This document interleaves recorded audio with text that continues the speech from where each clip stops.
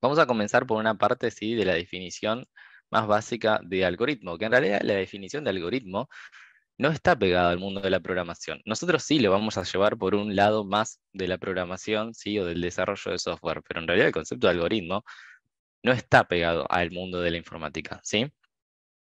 Buenísimo. Ahí, Carlos. Buen día pero los que se van sumando. Vamos a decir que una de las tantas definiciones nos dice que el concepto de algoritmo es, ¿sí? o una secuencia de instrucciones para resolver un cálculo o un problema abstracto, decimos que, es decir, un número finito de pasos que convierten los datos de un problema, que son los datos de entrada, en una solución. En realidad, cuando estamos hablando del concepto de algoritmo, sí estamos hablando de una secuencia de instrucciones. Si lo llevamos más al mundo de la informática, vamos a decir que es una secuencia de instrucciones que va a entender, por ejemplo, un computador, vamos a decirlo bien genérico, ¿sí? con la finalidad de qué? De resolver un problema. Punto. Si lo queremos dejar ahí va a ser mucho más fácil, ¿sí? No hace falta tener tanto palabrerío. Pero entonces vamos a decir, algoritmo, secuencia de instrucciones, si lo llevamos al mundo de la informática, que va a resolver o a ejecutar un computador, ¿para qué? Para poder resolver un problema, ¿sí? Obviamente en ese algoritmo vamos a tener algunos datos, los cuales vamos a llamar datos de entrada, y luego vamos a tener una salida, ¿sí? que justamente va a tener un proceso, ese algoritmo va a tener algún proceso y va a tener alguna salida. Esa es la definición bastante básica que podríamos llegar a entender sobre el concepto de algoritmo. Ahí después ustedes van a tener una página donde van a poder aprender así a jugar ahí con, un minijuego, donde tienen que resolver con algunos comandos, supongo que alguno quizás lo conoce, tienen, tienen que resolver eh, este problema con algunos comandos, ¿sí? Así que bueno, nada, después eso es para chusmear es un poco anecdótico, ¿bien? Si nosotros podemos mirar esto un poco, que es también un poco más interesante. Em, aclaro una cosa más para que no se vuelvan, para que no se vuelvan locos. Ustedes después van a tener sí, a disposición estas presentaciones, no hace falta que anden copiando, sí, si quieren pueden ir tomando apuntes aparte y demás, pero las presentaciones las van a tener y nuestras clases van a ser teóricas o prácticas en el sentido de que nosotros vamos a estar con la presentación y después también vamos a ir escribiendo a la par código, ¿sí? Así que también eso lo vamos a ir haciendo, ¿bien? Bueno, por ejemplo, acá le damos un ejemplo que dice determinar la categoría, del, la categoría del monotributo. Y nos dice, el problema es determinar qué categoría del monotributo corresponde a una determinada persona. ¿Cuáles son los datos de entrada? Los ingresos de la persona, la superficie y la energía eléctrica consumida. ¿Cuál es la salida de todo este problema? La categoría del monotributo que le corresponde. ¿Bien? Entonces, fíjense que nosotros por un lado tenemos a todas las categorías del monotributo, desde la A hasta la H, tenemos los ingresos brutos, la superficie afectada hasta y la energía eléctrica consumida. Y por el otro lado, a nuestra derecha, fíjense que tenemos algunos ejemplos, el docente, el carpintero y el vendedor, donde de cada uno nosotros tenemos esos datos de entrada. Por ejemplo, para el docente tenemos sus ingresos, la superficie y la energía. Y nosotros necesitamos determinar cuál es la categoría según esos datos de entrada. Lo mismo para el carpintero, ¿sí? Tenemos esos datos de entrada, el ingreso, la superficie y la energía y necesitamos determinar cuál es la categoría. Bueno, fíjense que acá nos dice, ¿se animan a escribir este procedimiento? Lo que deberíamos hacer acá es pensar cómo lo podríamos resolver. Bueno, es muy sencillo. Quizás ustedes ahora en su cabeza dicen, bueno, a ver, tengo una tabla, yo sé los datos, por ejemplo, el docente gana esto, tiene superficie esto, consume esta energía, me voy a fijar en qué categoría cae. Bien, o sea, me fijo en la otra tablita y listo. Bueno, pero si nosotros tuviéramos que describir ese, ¿sí? esos pasos, esa secuencia de instrucciones, ¿cómo lo haríamos? O sea, ¿qué debería hacer? ¿Qué agarro primero? ¿Por dónde voy a mirar? ¿Por qué fila? ¿Por qué columna voy a mirar? ¿Y cómo obtengo finalmente la categoría? Bien, imagínense todo eso escrito, pero en un lenguaje de programación, y en este caso Java, ¿sí? Es decir, pensar primero en cómo tengo que estructurar ese problema y después cómo lo voy a escribir a nivel código.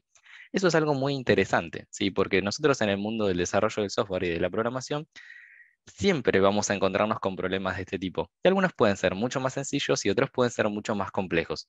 Bien, este quizás para muchas personas dicen es algo sencillo. Ustedes lo ven por acá, no me escriban las pantallas, porque sé que ustedes la pueden escribir, así que no las escriban, por favor. Eh, bueno, fíjense que para algunas personas este problema podría ser sencillo de como mirar y, claramente, lógicamente, resolverlo así mirándolo, pero si lo tienen que llegar a escribir en alguna secuencia de pasos, quizás, si se dan cuenta de, ah, se me podría empezar a complicar. Pero no hay ningún problema, ¿sí? Porque claramente todos nuestros problemas van incrementando de dificultad. Obviamente este es un ejemplo y no lo vamos a pensar, pero sí está bueno como para decir un puntapié, a ver si me saldría pensarlo o no, ¿sí? a ver cómo lo haría. Bueno, tenemos eh, acá una, solución. Fíjense que acá decimos, eh, comenzamos por aquí arriba, ¿sí? Si los ingresos son menores a, a 748, obviamente multiplicados por miles, ¿no? Fíjense que decimos que sí y vamos para la derecha, si la superficie es menor a 30 metros cuadrados, obviamente no, decimos que sí, y si la energía es menor a 3.330 kilowatts, obviamente por acá, si decimos que sí, entonces le corresponde la categoría A. Si en alguna de esas va que no, fíjense que vamos a seguir por abajo. Si los ingresos entonces son menores a, y seguimos, ¿no? Y así sucesivamente. Fíjense que el algoritmo sigue. Esta es una forma gráfica de poder resolver en este caso este problema. Sí, esto es bien gráfico, no tiene nada de complejidad ¿sí? Eh, informática, sino que en realidad lo único que hicimos es intentar resolver este problema llevándolo a un simple gráfico. Estos gráficos, también llamados diagramas de flujo, que ahora creo que en la siguiente slide van a ver uno más completo, nos ayudan muchísimo a estructurar nuestros problemas. Cuando nosotros tenemos algunos problemas de tipo bien estructurados, ¿sí? son fáciles de plasmar en estos diagramas. ¿Bien? Así que ustedes lo van a ver muchos en el área, este, área de programación. Pero bueno, algunos problemas que son fáciles de graficar en estos diagramas y algunos problemas que son más abiertos o más abstractos y se vuelven un poco más complejos. ¿sí? Eh, estos son los más iniciales, digamos, y quizás los más entretenidos al principio para aprender. Después los más abstractos y complejos cada vez se van volviendo con soluciones también cada vez más abstractas y complejas, un poco más difíciles de entender. Pero vamos a llegar a todo eso, sí. Quizás no en este curso, pero la idea es que ustedes también lleguen en algún momento a poder entender todo eso. Bueno, otro tipo acá dice más interactivo. Problemas, dice, llevar la contabilidad de quién usa las herramientas de un taller. Bien. Préstamo de herramienta, dice, la entrada es una persona se lleva la herramienta y la salida dice, queda registrado y la herramienta no está disponible para la siguiente persona. La devolución dice la entrada, uno devuelve la herramienta que pidió prestada y la salida es la acción que queda registrada y la herramienta vuelve a estar disponible para quien venga nuevamente. Y acá fíjense que entonces ahí tenemos el préstamo y la devolución de una herramienta. ¿sí? ¿Qué tengo que hacer en el sistema? Prestar y devolver herramientas, nada más. ¿sí? Entonces fíjense que por acá tenemos el inicio del programa siempre, y esto acostúmbrense cuando nosotros estamos trabajando en el mundo de programación, bueno, al igual que ustedes cuando están escribiendo en una hoja, obviamente siempre, siempre, siempre vamos a leer de arriba hacia abajo, de izquierda a derecha. Siempre, ¿sí? Porque así también es como van a trabajar los lenguajes de programación. Los lenguajes de programación van a ser exactamente lo mismo, de arriba hacia abajo, de izquierda a derecha. Obviamente después van a tener algunas reglas más implícitas de cómo van a ir leyendo o interpretando, pero siempre vamos a ir leyéndolos de esa forma. Por lo tanto, comenzamos por allá arriba que dice inicio. Dicho sea de paso, ¿sí? esto ya está en una nomenclatura que así se grafica así, por ejemplo, siempre el inicio de un programa es un circulito vacío. Ahí comienza el programa. Fíjense que acá nos preguntamos si terminó el programa. Las preguntas siempre se hacen en ese rombito ¿sí? que tenemos por acá. Y ese rombito de si terminó el programa o no siempre tiene al menos dos salidas. Fíjense que las aristas que salen de ese rombito son las salidas y las aristas que entras obviamente son las entradas. Terminó el programa, fíjense que si dice sí, se va para la derecha y ahí termina el programa. Si no termina el programa, entonces, ¿sí? fíjense que se va para abajo todo el flujo. Las flechas van indicando el flujo de ejecución del programa. ¿Sí? O es lo que intenta mostrar este gráfico. Bien, si esto fuera un programa, estaría intentando mostrar ese flujo de ejecución. ¿Terminó el programa? Vamos a suponer que no, entonces nos vamos a ir para abajo. Nos dice selecciona una acción. Bien, y acá tenemos dos caminos. Dice, se devuelve una herramienta o se pide una herramienta. ¿sí? Si, se, si se pide una herramienta, vamos por el camino de la izquierda. Dice, se ingresa el nombre de la persona, se ingresa la herramienta, se marca como la herramienta no disponible y se va para abajo, se registra la acción en la base de datos. Bien. Y luego de registrarse la acción en la base de datos, vuelve al inicio del programa. ¿sí? Porque este programa, en teoría, podría no terminar nunca. ¿sí? Por eso acá va preguntando siempre si termina el programa. Fíjense que se realiza una acción, llega acá, la guarda en la base de datos y sube de nuevo para ahí.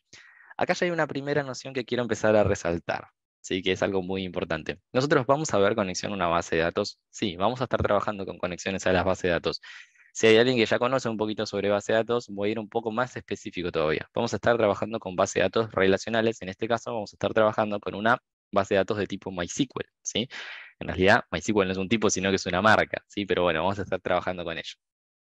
Pero hay algo que quiero remarcar y es, fíjense que ya desde el vamos, nosotros tenemos separado algo. Yo les dije que hasta acá tenemos una lógica del programa, que es, ¿terminó el programa? No, bueno, entonces seleccionamos una acción, ingresamos el nombre de la persona y vamos leyendo las acciones que tenemos que hacer en este programa. Pero fíjense que a lo último dice, se registra la acción y hay una flechita que va a un tachito que dice DB, que dice base de datos. Entonces, ya desde el vamos, tenemos que entender que la base de datos no es algo que va a estar corriendo dentro de nuestro programa Java, por ejemplo, sino que la base de datos va a ser un lugar donde nosotros vamos a estar guardando, valga la redundancia, vamos a estar guardando datos, pero que no está internamente dentro de nuestro programa, sino que en realidad nuestro programa se va a conectar a esa base de datos.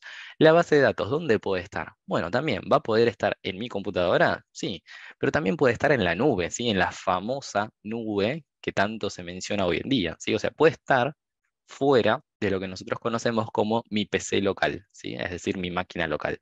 Entonces va a estar afuera, separada, pero nosotros la vamos a usar y nos vamos a conectar justamente para guardar datos. Después vamos a tener, ¿sí?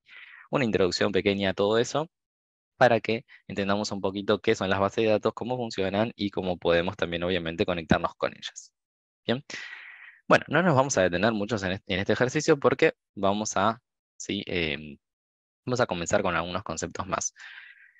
Acá les voy a preguntar, por ahora, ¿sí? Hago otra pregunta booleana, así también estamos bastante organizados. ¿Cómo venimos por ahora? ¿Bien o mal? Pueden contestarme con un 1 si es bien, con un 0 si es mal, o con un 0,5 si vamos más o menos, si quieren también. El 0.5 está, está habilitado también ahora. Bien, genial. Bueno. Buenísimo. Bueno, sigamos avanzando entonces, ¿sí? Es una primera introducción, todavía no vimos nada raro, ni nada loco, así que no se hagan, no se hagan ningún problema, ¿sí? Bien. Bueno, ¿Cómo, expresar los problemas en este caso? Existen diversas formas de expresar y resolver los algoritmos. Nosotros ya vimos una de las formas, o sea, ya se las dije en realidad, ¿cómo puedo, representar un problema? Bueno, si el problema es cerrado, puedo hacerlo con estos diagramas de flujo que les mostré recién. Sí, si es finito, obviamente. Si es un problema más abstracto, ahí se complica porque no siempre los programas son así de fáciles. De hecho, el concepto de programa a mí mucho no me gusta, porque en realidad nosotros no, deberíamos decir que somos programadores, sino que en realidad nuestra finalidad es a ustedes formarlos y que entiendan las nociones de, de ser un desarrollador. Y el desarrollador desarrolla sistemas, ¿sí? no resuelve problemas tan chiquititos, sino que en realidad se va a algo mucho más allá.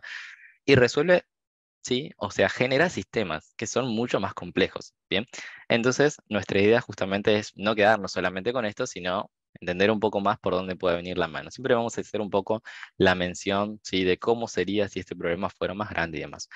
Nosotros elegiremos implementarlos en un lenguaje de programación, en este caso decimos en realidad resolverlos en un lenguaje de programación, y para resolver el problema nos vamos a valer de instrucciones y las variables. Y acá ya nos empezamos a meter un poquitito en el concepto sí de programación.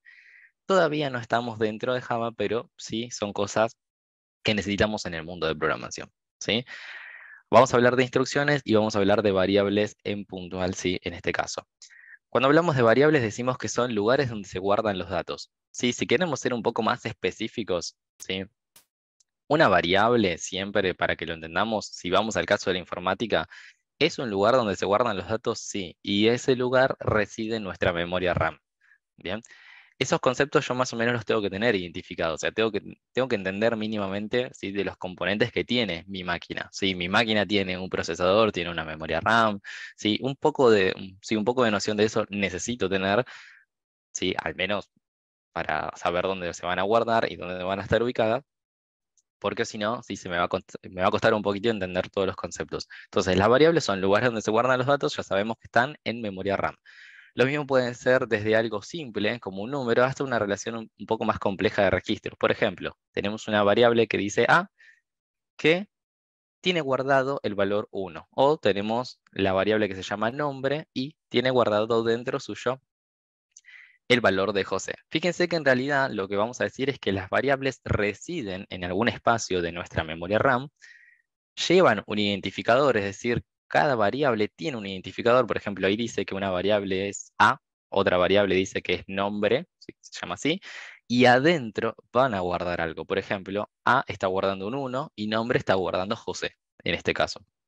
Bien, entonces eso es lo mínimo que tenemos que entender de las variables. Si hay alguien que le parece más fácil también llevándolo al plano de matemática, y acá sonaron porque les tocaron mi comisión y a mí me encanta hacer la relación con matemática siempre, todo tiene que ver acá también, ¿sí? Porque ustedes, el concepto de variables, ustedes ya lo conocen, ¿sí? Desde la escuela secundaria. Cuando ustedes aprenden, ¿sí? Y demás, hacer funciones, ahí ya están manejando variables. A ver, ¿qué era la típica f de x? ¿X qué era? Y bueno, x era una variable que podía tomar cualquier valor. Ojo, cualquier valor, no. El valor de x debería estar dentro del dominio de esa función. Bueno, acá es muy parecido y le vamos a hacer toda esa relación, ¿sí? Acá ya hay un montón que me abandonaron la clase y se van, seguro. Nada, mentira. Pero bueno, eh, fíjense que tiene mucha relación. De hecho, los nombres no son de casualidad, sino que hay mucha relación también con eso. Bien. Entonces, entendemos que por ahora las variables ¿sí? van a tener un identificador, por ejemplo, A, nombre o como ustedes le quieran poner, y dentro suyo van a poder guardar un valor. Obviamente ese valor va a ser de un tipo determinado.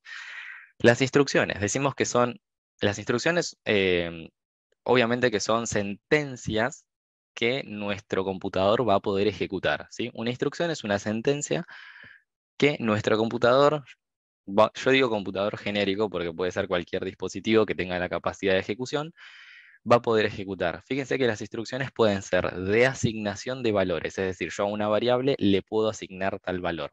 Puede ser una operación, o sea, una instrucción también puede ser una operación. La operación puede ser aritmética, si quiero, ¿sí? puede ser una suma de dos variables. Es decir, puede ser, qué sé yo, un x más y. Eso sería una operación. Y las modificaciones de alguna variable, como vemos ahí en pantalla que dice a es igual a 1 más 1. Es decir, yo puedo volver a modificar el valor que tiene una variable. Una variable puede tener un valor y a lo largo del tiempo puede ir cambiándolo. Justamente ese es el concepto de variable. ¿sí? La variable guarda un valor en algún momento determinado y a lo largo de la ejecución del programa puede ir variando. De ahí viene el chiste justamente de que se llame variable. ¿sí? También tenemos otras instrucciones, por ejemplo, evaluaciones y condicionales, elegir si seguir por un camino o por otro, dependiendo de una condición. Por ejemplo, si A es mayor a 1, hacer una cosa, y si no cumple, hacer otra. Ciclos o loops, dice por acá. Mientras no se cumpla una determinada condición, continuar una determinada actividad. Bien, esto para que se entienda, voy a ir para atrás. Fíjense cuando nosotros estábamos hablando de acá, en este ejemplo, el determinar la categoría del monotributo. Cuando estuvimos hablando de determinar la categoría del monotributo, dijimos que los inputs, es decir, los datos de entrada para este problema, eran los ingresos de la persona, la superficie y la energía consumida. Y los datos de salida eran la categoría que iba a tener ese, esa persona. Bien, buenísimo. Ahora yo les pregunto, a ver, si entendimos un poco el concepto de variables. ¿Cuántas variables tengo? ¿Cuántas variables de entrada tengo en este problema? Perfecto, Ezequiel me dice 3, Michelle me dice 3, buenísimo. ¿Cuáles serían esas variables? A ver, ¿cuáles serían esas tres que me están diciendo? Esas tres variables que tengo. Ingreso, superficie y energía, excelente, buenísimo. ¿Y cuál es la variable de salida entonces? ¿Cómo se llama nuestra variable de salida? Categoría, perfecto, buenísimo. Bien, fíjense que de hecho nosotros lo hemos graficado por acá. Fíjense que dice si ingresos es menor a 748, o sea que acá implícitamente ya tenemos una variable que dice que se llama ingresos. Claro, nosotros cuando entra el docente X, ingresos pasa a valer 500. ¿sí? Entonces, cuando ejecutamos esta instrucción, la que tenemos acá, yo no sé si ustedes ven mi puntero. ¿Ven el puntero o no? que yo estoy ahí redondeando. Perfecto, buenísimo, gracias.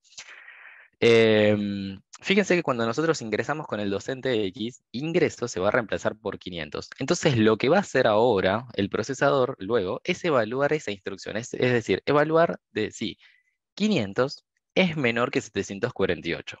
¿Bien? Si me dice que sí, entonces va a seguir por el camino. Pero fíjense que acá nosotros tenemos todo, justamente. Cuando hablamos de instrucciones, que habíamos hablado de resolver operaciones, que habíamos hablado de asignaciones y demás, acá lo podemos ver claro, ¿sí? Fíjense entonces, ingreso es una de las variables, superficie es otra, que acá se llama sub, y energía también es otra variable, pero después acá nosotros ya podemos detectar ¿sí? que también estamos reemplazando, obviamente, el valor para poder evaluar eso, y estamos justamente realizando una operación de comparación en este caso. ¿sí? La operación de comparación, en este caso que me dice si 500 es menor que 748, tiene dos posibles caminos. Es un sí, es un no. ¿Sí? Es un menor o menor igual o lo que sea. ¿sí? O sea, tiene dos posibles caminos en este caso. ¿bien? Bueno, entonces fíjense que por ahí tenemos una introducción básica a lo que son las instrucciones. Bien, acá hay algo que me gusta y que lo voy a dibujar también, ¿sí? para que se vuelva a entender, por si hay alguien que todavía quedó un poquito medio flojo con, con el concepto, para entender un poco cómo lo tenemos que entender gráficamente a las variables. Hay una herramienta que ustedes a lo largo del curso se van a ir riendo y cada vez más, que a mí me encanta usar, porque no hay nada mejor que dar clases y usar nuestra famosa herramienta 2.0, o 3.0 vamos a decirle, se llama Paint. no, pero para graficar es un golazo, porque si tuviéramos un pizarrón buenísimo, pero como estamos virtual, se complica. Entonces, ustedes siempre piensen de esta forma. Su memoria, la memoria RAM, siempre piensen que es de este estilo, que a mí me encanta hacer las analogías y decirles que esto es un chocolate. imagínense un chocolate por acá. Esta es su memoria RAM. Bien. Lo que vamos a hacer con el concepto de variable es, obviamente cada uno de estos bloques de nuestro chocolate tiene un número. Ese número no es un 1, 2, 3, 4, 5. Sí, podría hacerlo tranquilamente. Al principio lo vamos a hacer así, miren. Yo los voy a hacer bien sencillo, le voy a decir que este bloque es 1, que este bloque es 2. Bien, y así seguimos sucesivamente, bien. 3, 4, este sería el 5. Y así, ¿no? Obviamente vamos de arriba abajo, izquierda a derecha. Buenísimo, y lo que nosotros decimos es, bueno, ok, quiero guardar una variable en el bloque número 1. Entonces acá me voy a guardar una variable. Bien, ¿cómo vas a llamar tu variable? A tu variable le voy a llamar un número. La variable se puede llamar como ustedes quieran. El identificador que le van a dar a su variable puede llevar cualquier nombre. Mientras más expresivo sea, el nombre de su variable va a ser mucho mejor. Es decir, el nombre de su variable puede ser cualquier cosa. Puede llamarse A, puede llamarse B, puede llamarse C, puede llamarse D. Que así es como la mayoría habrán aprendido a programar. Pero en realidad no está bueno usar esos nombres de variables, porque yo no tengo idea que voy a querer guardar en una variable que se llama A, o en una variable que se llama B, o en una variable que se llama C, o en una variable que se llama X, como en matemática. En realidad, cuando estamos hablando en el mundo de programación, nuestras variables tienen que ser bien expresivas. Si yo quiero guardar un número en esa variable, siendo un número cualquier valor, a la variable, llamalo un número, ¿sí? No le pongas X, ponele un número. Si en tu variable de, no sé, acá, en el 2, queremos guardar un nombre, bueno, a ese identificador de esa variable, ponele un nombre, para que se entienda, ¿sí? Que ahí nosotros vamos a guardar un nombre. Buenísimo, esta es una variable que está en el espacio número 1 de memoria RAM, y esta es otra variable que se llama un nombre que está en el espacio número 2 de memoria RAM. Todavía no tienen ningún valor asignado, es decir, por ahora se llaman así, pero no contienen ningún valor, es decir, que acá hay basura, ¿sí? Y eso es cierto. Cuando nosotros no inicializamos nuestra variable, no le damos ningún valor inicial, en realidad lo que tienen estas variables se dice que es un valor desconocido o valor basura, ¿sí? Porque acá adentro no sabemos qué hay, porque quizás hace un rato ese mismo espacio de la memoria se usó para otra variable y quedó con algún valor sucio, ¿sí? con algún valor viejo, así que no sabemos qué es. Es un valor desconocido y valor sucio. En esta variable nosotros podemos asignarle cosas. Por ejemplo, podríamos decir en una instrucción, imagínense que este ya es un programa Java que estoy escribiendo, en una instrucción yo podría decir un número es igual a 8. Punto y coma. ¿sí? El punto y coma ya lo vamos a usar siempre, en este caso para Java. ¿sí? Entonces, fíjense que ahora sí, mi variable que está en el espacio número 1 de la memoria RAM está guardando el número 8. Pero yo más tarde, después de un par de sentencias, podría decir un número ahora es igual a 30. ¿Y por qué lo puedo hacer? Porque es una variable. Y ahí viene la, diferencia entre variables y constantes, ya que estoy. Una variable, obviamente, puede cambiar el valor que guarda a lo largo de la ejecución del programa, mientras que una constante no, porque su nombre lo dice, es constante a lo largo de la ejecución del programa. ¿Sí? Todavía no nos vamos a meter en eso, pero obviamente es fácil de entenderlo. Las variables pueden cambiar su valor a lo largo del programa, mientras que las constantes no. ¿Cómo tenemos que entender esto? Fíjense que nosotros vamos a leerlo, en este caso, cuando leemos las sentencias o las instrucciones, en este caso de asignación, una sentencia de asignación, las vamos a leer al revés. O sea, le estamos asignando el número 8 a nuestra variable que se llama un número. Bien, y el igual que tenemos por acá, ¿sí? le vamos a decir que es un operador de asignación. Es igual es un operador de asignación. ¿sí? Que esto es casi como lo que hacían en matemáticas. x es igual a 5. Bueno, ¿qué le estaban haciendo? A la x le estaban asignando un 5. Bien, o sea, es fácil. En ese caso es un operador de asignación.